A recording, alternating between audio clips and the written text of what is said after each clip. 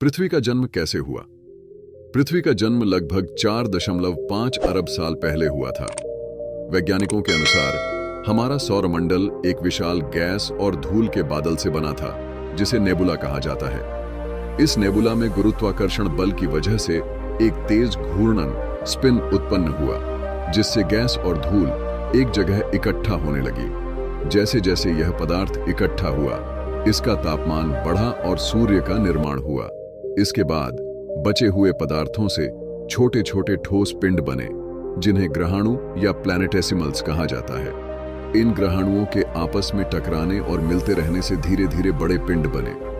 पृथ्वी इन्हीं ग्रहाणुओं के टकराने और जोड़ तोड़ से बनी। समय के साथ पृथ्वी ठंडी हुई और इसके चारों ओर एक ठोस परत बनी। इस परत ने पृथ्वी का सतह बना दी और इसके भीतर धीरे धीरे जीवन के लिए अनुकूल माहौल तैयार होने लगा।